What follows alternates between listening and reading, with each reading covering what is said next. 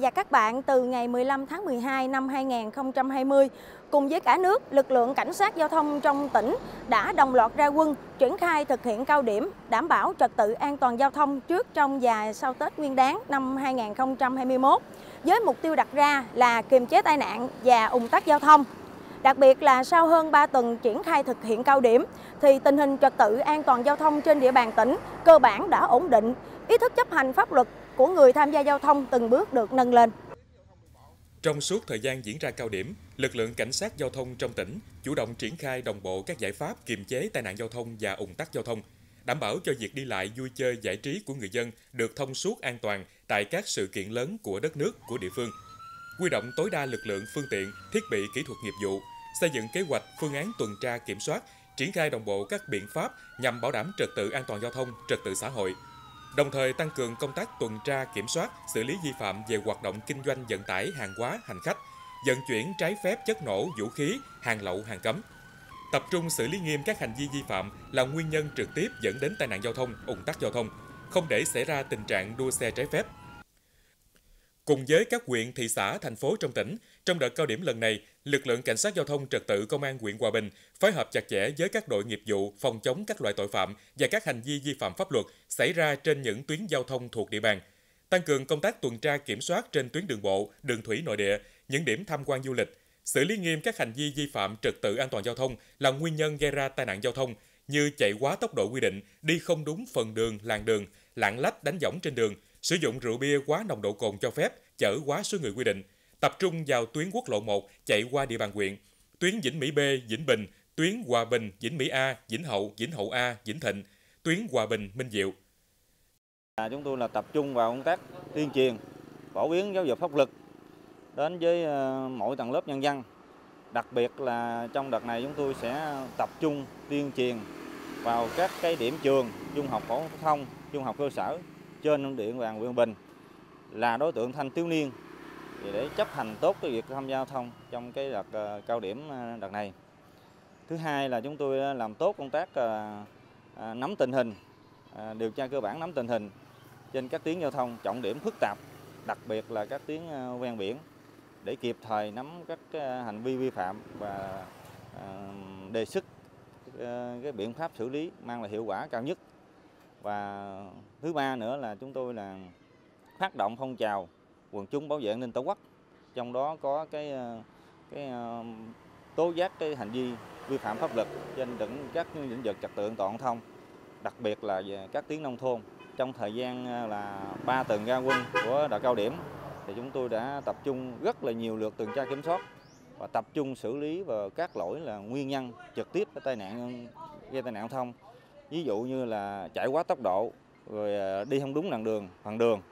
và trọng tâm là cái lỗi vi phạm về nồng độ cồn.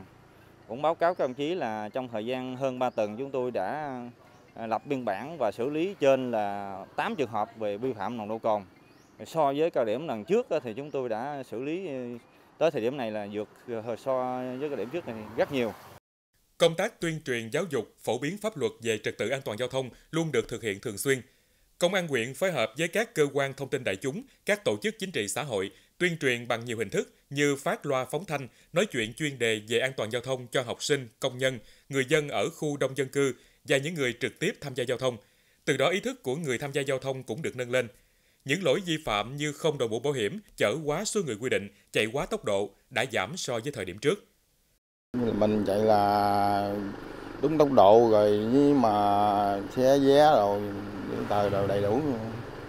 Khi mà mình đón trả khách thì như thế nào anh? Đón khách thì mình vô trạm ra trạm ờ, đúng trên nơi quy định đó. Rồi khi mà hành khách đó, nó nhiều quá, nó đông thường là cuối năm á, dạ. thì khi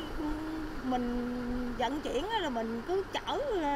hay là mình có phải ờ, à, đảm bảo theo cái số lượng quy định không? Cho vừa đủ mình được đóng cửa là mình chạy đây là đóng cửa thôi, không được quyền mở cửa. Dạ, đội mũ bảo hiểm ờ, chạy đúng tốc độ quy định. À, nếu có sử dụng rượu bia thì nhờ người chở về dùm chứ không tham gia giao thông không chạy. Chạy thì xe mình có thể giấy tờ làm sao? À, giấy tờ phải đầy đủ, đúng với quy định của quy tắc giao tham gia giao thông. Để công tác bảo đảm trật tự an toàn giao thông, trật tự xã hội trước, trong và sau Tết Nguyên đán năm 2021 trên địa bàn huyện luôn ổn định, an toàn, Ban an toàn giao thông, Công an huyện đã triển khai kế hoạch và đề ra một số giải pháp trọng tâm. Qua đẩy mạnh các cái biện pháp quyết liệt như vậy thì có thể nói là tình hình tai nạn giao thông, trật tự giao thông là gần đây là chuyển biến rất là tốt. Đến điểm này cũng chưa báo công chí là cũng chưa có xảy ra vụ tai nạn giao thông nghiêm trọng nào. Vào dịp cuối năm á, thì ờ, tình hình giao thông luôn luôn diễn biến phức tạp. Cái áp lực phương tiện là rất là đông đặc biệt là trên tuyến lộ E ở trên địa bàn huyện Hòa Bình thì ờ, chúng tôi ý thức được cái việc này à, chúng tôi ờ, sẽ duy trì kiên trì các cái biện pháp mình đã làm quyết liệt ngay từ ờ, cuối năm 2020 và thời gian đầu năm 2021 thì chúng tôi duy trì lực lượng là đảm bảo tuần tra kiểm soát liên tục xử lý nghiêm các cái hành vi mà nguyên nhân trực tiếp gây tai nạn giao thông như là nồng độ cồn rồi là lạng lách tính võng trong này thì à, bố ông chí là chúng tôi sẽ à, triển khai các công tác nghiệp vụ của ngành công an ở đây. Tức là tuần tra kiểm soát công khai, nhưng mà chúng tôi sẽ à, bố trí mặc phục. Rồi chúng tôi là gà sót lên sách số đối tượng là tụ tập đua xe, cũng như các cái điểm mà sửa xe mà binh độ để cho các đối tượng đua chúng ta xử lý nguội cái này. Thì thời gian qua chúng tôi xử lý cái này rất là tốt thu giữ rất là nhiều xe mà ờ, nhóm mới là đua xe nó chuẩn bị để tiến hành công động đua xe. Ngoài này ra thì ờ, chúng tôi sẽ đẩy mạnh tác tuyên truyền để người dân ờ, nâng cao ý thức hơn trong cái việc mà chấp hành trật tự giao thông trong cái thời gian tới. Thì chúng tôi nghĩ rằng với một sự quyết tâm cao của tất cả các bộ sĩ, rồi sự đồng thuận của chính quyền, của người dân thì chúng tôi hy vọng rằng là tình hình trật tự giao thông trên địa bàn huyện Hòa Bình sẽ được ờ, mang tính hiệu quả hơn trong cái thời gian tới. Điều đáng ghi nhận, chỉ sau 15 ngày ra quân thực hiện cao điểm bảo đảm trật tự an toàn giao thông, tai nạn giao thông giảm cả 3 tiêu chí. Trên địa bàn tỉnh xảy ra một vụ tai nạn giao thông làm chết một người. So với thời gian liền kề, tai nạn giao thông giảm 2 vụ tai nạn, giảm 2 người chết và 3 người bị thương. Trên tuyến quốc lộ 1A, khi có mặt lực lượng chức năng tuần tra kiểm soát, thì tình trạng lái xe phóng nhanh vượt ẩu, chở quá số người quy định hay lỗi vi phạm nồng độ cồn cũng được kiềm chế. Nhiều tài xế vận chuyển hành khách luôn nhận thức đầy đủ về luật giao thông đường bộ, nên việc chấp hành cũng chuyển biến tích cực hơn. Đảm bảo giấc ngủ, sức khỏe mới ờ, đi đi đi. Còn ờ, mấy cái đó không có thì chúng em phải ờ, xuống ca để cho người khác lên. Dạ, cái an toàn là trên hết dạ, mình phải chạy cho nó kỹ kỹ thuật chạy là phải chính xác chứ không bao giờ mà vượt ẩu hoặc là lấn uh, đua với với mấy xe khác. Cuối năm thì ờ, lượng hành khách ờ, đi nhiều thì mình vận chuyển như thế nào? Thì mình cứ đúng số lượng khách và mình đi thôi. Có giống như là đúng số lượng khách của sở giao thông vận tải mà đã ban xuống cho mình thì mình cứ đúng mình đi. Thì chạy đúng tốc độ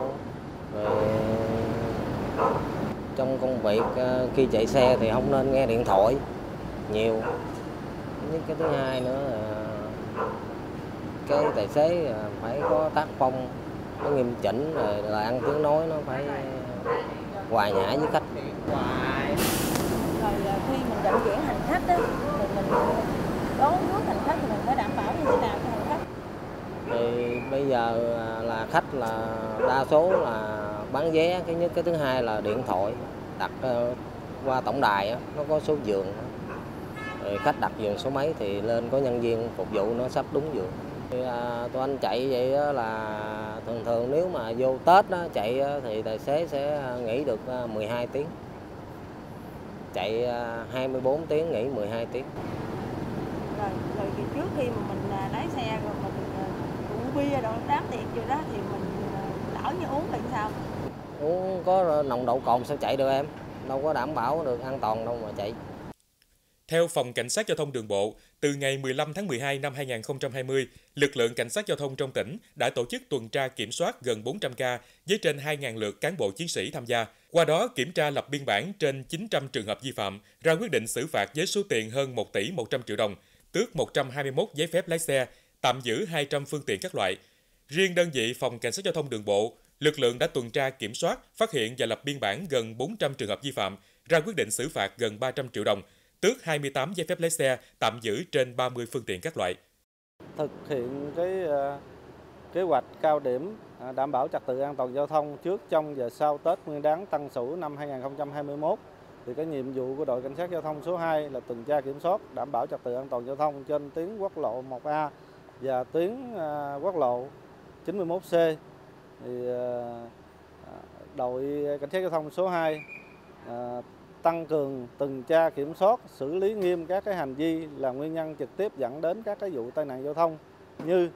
là các cái hành vi vi phạm về nồng độ cồn đối với người điều khiển phương tiện tham gia giao thông, rồi chạy quá tốc độ, đi không đúng phần đường, làn đường, rồi tránh vượt sai quy định, rồi không giấy phép lái xe, không đội mũ bảo hiểm, vân vân. Bên cạnh đó thì à, đội cảnh sát giao thông số 2 cũng tăng cường phối hợp với công an các cái à, huyện thị, công an à, thành phố và các cái phòng nghiệp vụ thực hiện nghiêm cái kế hoạch phòng chống đua xe trái phép của giám đốc công an tỉnh là kiên quyết xử lý nghiêm các cái hành vi ban đêm tụ tập nẹt bô rú ga à, là gây mất an ninh trật tự. À, kiên quyết không để Ờ, xảy ra tình trạng thanh thiếu niên à, ban đêm tụ tập đua xe trái phép ở trên các cái tuyến địa bàn à, phụ trách. Với mục tiêu kiềm chế tai nạn và ủng tắc giao thông, Phòng Cảnh sát Giao thông Đường bộ Công an tỉnh đã triển khai đồng bộ quyết liệt các giải pháp, biện pháp bảo đảm trật tự an toàn giao thông, góp phần bảo vệ tuyệt đối an toàn Đại hội Đảng toàn quốc lần thứ 13, Tết Nguyên đán Tân Sửu 2021, các sự kiện chính trị lớn và các hoạt động lễ hội đầu xuân. Bên cạnh việc tập trung xử lý những vi phạm có nguy cơ cao dẫn tới tai nạn giao thông, ủng tắc giao thông, trong đợt cao điểm này, lực lượng cảnh sát giao thông tập trung xử lý vi phạm về nồng độ cồn, chủ động triển khai các phương pháp vào những khung giờ phù hợp để xử lý phải đạt hiệu quả cao nhất. Đồng thời tập trung xử lý đối với vi phạm xe khách chở quá số người quy định, xe tải chở quá tải trọng vào dịp trước và sau Tết Nguyên đán, người điều khiển mô tô, xe gắn máy không đội mũ bảo hiểm. Chủ động nắm tình hình trên các tuyến giao thông đường bộ, quy động tối đa lực lượng, phương tiện, trang thiết bị kỹ thuật, nghiệp vụ tăng cường tuần tra kiểm soát và xử lý vi phạm, nhất là các hành vi vi phạm là nguyên nhân trực tiếp gây tai nạn giao thông như chạy quá tốc độ quy định, sử dụng rượu bia, điều khiển phương tiện, vượt trong các trường hợp cấm vượt, đi ngược chiều trên đường có biển cấm đi ngược chiều, không đủ độ tuổi, không giấy phép lái xe, tụ tập cổ vũ đua xe giấy phép, tự ý thay đổi kết cấu của xe không đúng thiết kế của nhà sản xuất, chở quá số người quy định, chở quá tải trọng cho phép tham gia giao thông, đi không đúng làn đường, phối hợp với các lực lượng chức năng, kịp thời phát hiện đấu tranh có hiệu quả các loại tội phạm và các hành vi vi phạm pháp luật trên các tuyến giao thông đường bộ, phối hợp với các cơ quan chức năng thường xuyên khảo sát và kịp thời phát hiện những yếu tố mất an toàn giao thông, những bất cập trong tổ chức giao thông, những điểm đen tai nạn giao thông để kiến nghị khắc phục, sửa chữa, xử lý nghiêm các hành vi xâm phạm công trình giao thông, hành lang an toàn đường bộ. Cuối năm, nhu cầu đi lại cũng như việc vận chuyển hàng hóa tăng cao, kéo theo lưu lượng phương tiện cũng đông đúc. Do đó, mỗi người tham gia giao thông cần tuân thủ nghiêm túc các quy định về trật tự an toàn giao thông. Tham gia giao thông một cách văn minh, an toàn, không chỉ mang lại sự bình an cho mình mà còn vì mọi người xung quanh.